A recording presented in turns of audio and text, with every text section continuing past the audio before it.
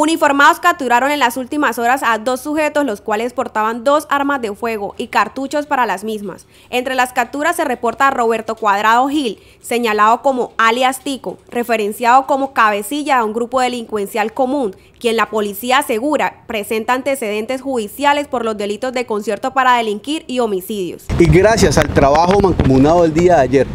con nuestro Ejército Nacional también, Policía Nacional, dimos con la captura de dos sujetos, dos sujetos entre ellos a, alias Tico, una persona que es cabecilla, la tenemos dentro de, nuestras estructuras, es cabecilla de una estructura la cual estaba afectando la comuna número 3 frente al,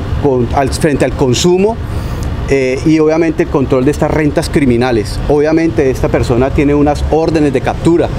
por concierto para delinquir, homicidio, hurto y sobre ello pues ya estas personas están dejados a disposición. De igual forma, la policía en esta rueda de prensa dio a conocer la captura de Joan Sebastián Acevedo Martínez, de 31 años, a quien le reportan antecedentes judiciales por los delitos de tráfico, fabricación y porte de armas de fuego, acceso carnal violento, violencia intrafamiliar y fuga de presos. Policía asegura que seguirá su trabajo articulado con Ejército y CTI para dar con la captura de delincuentes en la ciudad.